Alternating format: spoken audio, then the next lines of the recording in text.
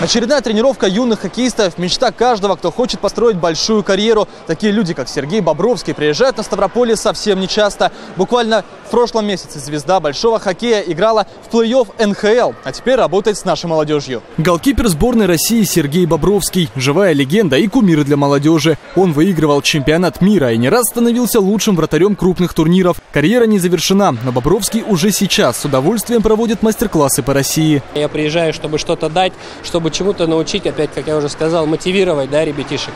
Поэтому здесь у кажд... в каждой своя атмосфера, в каждой, в каждой стране, в каждом городе, скажем так, свой подход.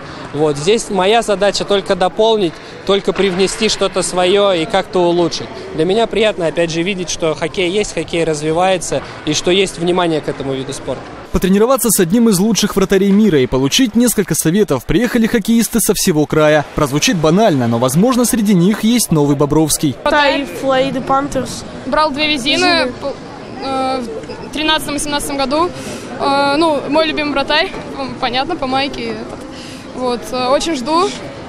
Хочу посмотреть мастер-класс, спросить некоторые вопросы по игре, по подготовке к игре. Ставропольская молодежка пообщалась с Бобровским и провела часовую тренировку. Со стороны казалось, что на площадке работает сборная России. Есть даже те, кто успел уехать в клубы высшей хоккейной лиги. Очень э, сильно хотел попасть, все готов был сделать для этого, потому что за этим человеком всю свою хоккейную жизнь слежу. Я перехожу в юниорку Ступина, буду делать все, чтобы предложили контракт молодежный. Так что все будущее только о хоккее. А для того, чтобы контракт предложили, есть простой, но очень важный совет. Главное работать, терпеть. И здесь этот сам вид спорта, хоккей, он дисциплинирует, он а, опять же, позволяет работать в команде, и это на всю жизнь. То есть это никуда не денется, это спортивная дисциплина, это и ответственность за партнера, ответственность за команду. Мне здесь очень приятно быть в городе Ставрополь, а, на юге России, и общаться, ну, общаться с ребятами. А надеются, что ставропольцы ворвутся на высокий уровень. Герман Кудеяров, Варвара Заруднева, Татьяна Писарева и Владимир Ходорев. Ставропольское телевидение.